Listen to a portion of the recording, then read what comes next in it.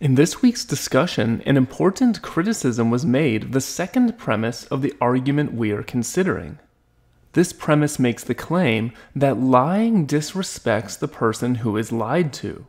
The criticism suggested is that this premise is false because there are cases where lying is necessary to protect another person. What really matters is the intention behind the lie. Is someone lying merely to deceive and swindle another person? That seems clearly disrespectful. But what about to protect someone from harm? Is lying for that reason really disrespectful? I want to think about this question further because it touches on many important concepts in moral philosophy that will arise in this class. And I want to consider the possibility that even protective lies might be disrespectful. Although later we can think more about whether this should change how we think about the nature of respect.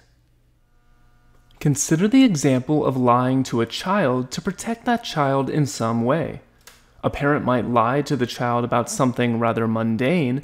For instance, if you don't go potty now and instead wait until the last minute after we have already left the house, then you might miss out on doing X, Y, and Z fun things while you are away in the bathroom.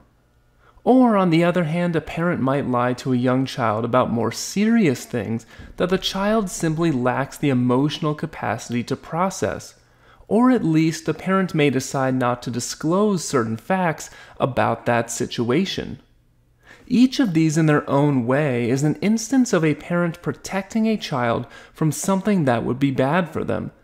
And depending upon the details of the particular circumstance, we generally don't see anything disrespectful about doing this. What does this example tell us about the nature of respect? Why is it exactly that we do not necessarily find it disrespectful to lie to children? It is because children have diminished capacity to handle stress, understand complex situations, and consider the long term consequences of their actions.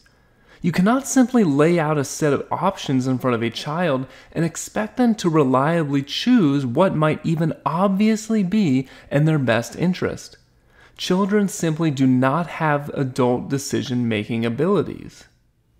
This indicates that whether lying is disrespectful may depend upon to whom the lie is told and what that individual is like. Lying to a child can be acceptable because children are vulnerable, not fully rational, and in need of guidance and protection. But isn't this precisely why lying to an adult would be disrespectful? Doesn't this show that even if protection is the motive, lying to an adult treats that person like a child? Even protective actions can border upon disrespect. Whether justified or not, this is what lies behind the attitude of those who are annoyed with government paternalism. Consider, for example, a law that requires seatbelt use. The law is intended to protect people from their own bad decisions, but the opposition, those who oppose this law, usually retort that they are adults, not children, and they can make their own decisions. So, it may be possible for intentionally protective acts to still be disrespectful. If so, then perhaps we need to think further about the conception of disrespect itself.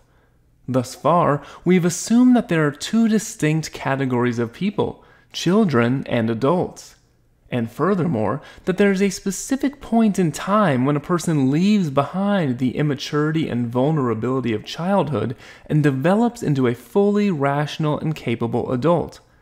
The law seems to assume this by identifying the age of 18 as a stark dividing line. It may be the case that for legal purposes, this strict demarcation is needed but we all know that this severely oversimplifies how things are in the real world. We do not magically become capable of complete rational self control at the age of 18, never having to again worry about temptation or frailty. The idealized state of adulthood is something we embody to varying degrees throughout our lives. At various points, we might find ourselves suffering from mental and physical illness, emotional trauma, or material hardship. There are, in fact, a whole range of circumstances that can prevent us from making informed, rational decisions about what is in our best interest. Think about someone facing a serious, life threatening illness. Should a physician working with such a patient be completely honest about the odds of recovery or survival? Would a patient in such a compromised state be able to hear that information without despairing or losing hope? What effect would that have on the efficacy of future treatment? These are all pertinent questions that need to be asked seriously. Perhaps it is always disrespectful to lie to a fully rational adult human being with the emotional maturity to look with clear eyes at the options before them and make an informed judgment about what is best. But how often do any of us completely resemble that ideal? And how many situations are there which prevent us from achieving this standard? So, perhaps the duty of respect isn't as universal as we tend to think.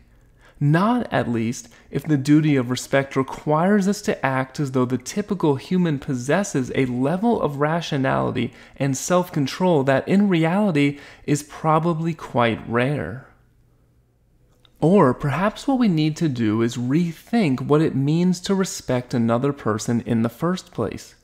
Certainly, it would be disrespectful to completely ignore the fact that other people have reason and the ability to think for themselves. Yet, wouldn't it also be rather disrespectful to ignore the reality of their human vulnerability?